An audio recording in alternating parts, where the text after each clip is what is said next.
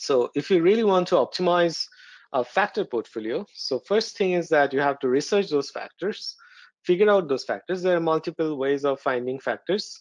Uh, this is not the webinar for uh, for a talk about how to find and how to develop factors.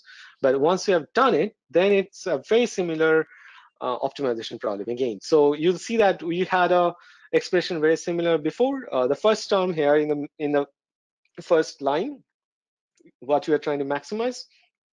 The first term is uh, return multiplied by the weights, and that is basically the the rewards that you're getting. And the second line is the uh, the variance, which is the risk that you are the cost of return, the cost of rewards.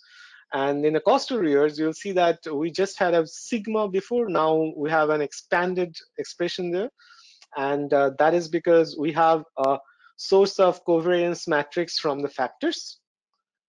And also uh, whatever is not explained by the factors, that is the residuals. Uh, and uh, we have a variance matrix from those residuals as well. So, and necessarily we have a different lambda as well for that, the, the sensitivity to each of these factors that you want to optimize. So one is the factor uh, lambda, one is the asset lambda. So again, we, we can just uh, normalize, uh, optimize this expression and uh, come up with the factor allocation. So it's uh, not very significantly different.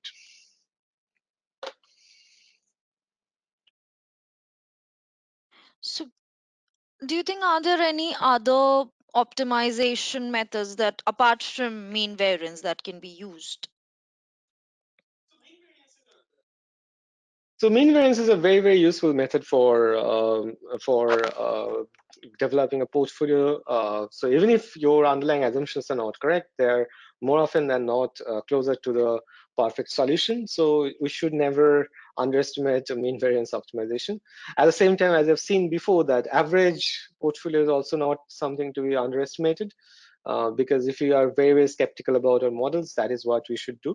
But uh, there are other situations as well where you can do uh, something different. So for example, Kelly optimizations or risk parity optimizations. So if you talk about the Kelly, uh, so the expression that you're trying to uh, use for uh, the u, the utility function, is slightly different. So it's a log expression. ln stands for logarithm to natural base.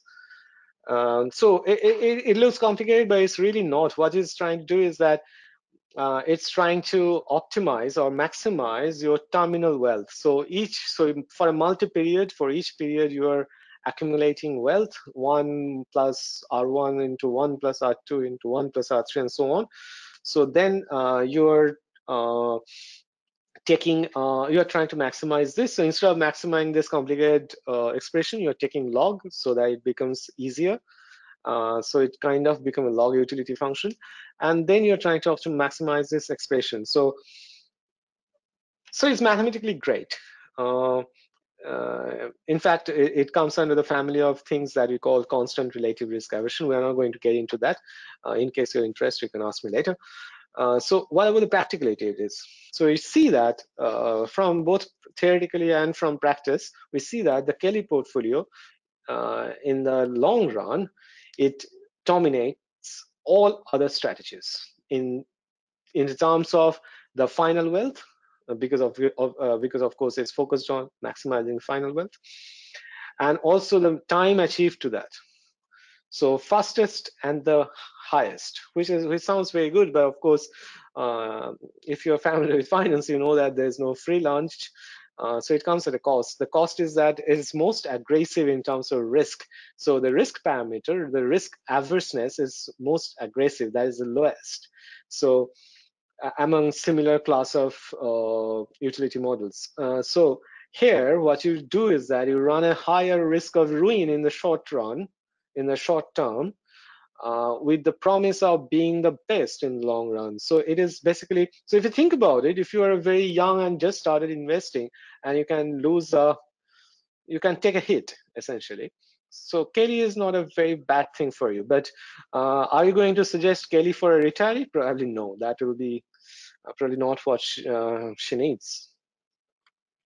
There are other optimization things like uh, the risk parity that we have talked about. So risk parity is a very different beast. So here we are talking about uh, equating what you call the individual risk contribution. So the expression is above. It's uh, something like you are taking the sensitivity of uh, the risk with respect to a particular asset I, we, uh, the, the derivatives part of it, uh, and then uh, we are just weighing with the particular asset allocation in that asset I, and we're saying that this is my individual risk contribution. If you see that all this sums up to the portfolio risk, uh, it can be proven mathematically. So you can just take my word for it. And what you're demanding is that the sigma i for all i, for all assets should be equal. So this is risk parity. There is no theoretical justification here. So it's just uh, something that people thought it makes sense that all your stuff in your as uh, in your portfolio will have equal risk.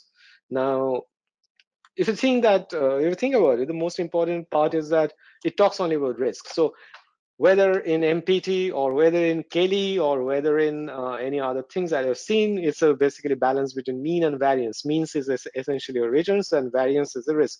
Here, we are only talking about risk. No, no returns, right? So if the market is uh, efficient, of course, the risk should be uh, proportional to the returns. But here we do not talk about explicitly about that. So what the upside of that? The upside is that uh, we are far more uh, we, we have far more better model to measure risk than returns. So this kind of allocations become far far uh, superior in terms of its robustness uh, to model errors.